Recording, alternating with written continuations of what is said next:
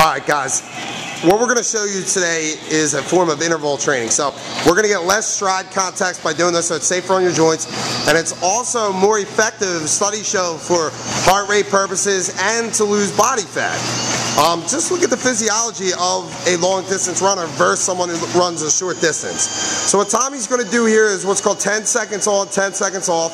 It's a one-to-one ratio as far as intervals go. He lets 10 seconds go by. Notice how he holds his hands on the side of the treadmill so that he doesn't fall. He puts one foot down, then gets the other foot down. And then he starts his second interval. So if you guys are at home and you need you know a conditioning day, here's a really good idea. It's actually going to be extremely short but really really effective. So you can do 10 on, 10 off. If you're less advanced, you could do 10 on, 30 seconds off. You could do 30 seconds on, one minute off. But the longer you're running on the treadmill, the lower the intensity should be. But you should keep the intensity pretty high so that it's not like when you're walking in the park.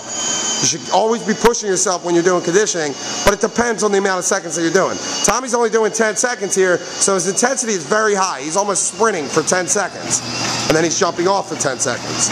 So play around, warm up for five minutes, start with six reps, then do eight reps, then do 10 reps, then do 12 reps, 14, 16, as the weeks go on. Gradually progress yourself, and then do five minute cool down when you're when you're done. Here's a really short but effective conditioning workout that you can try.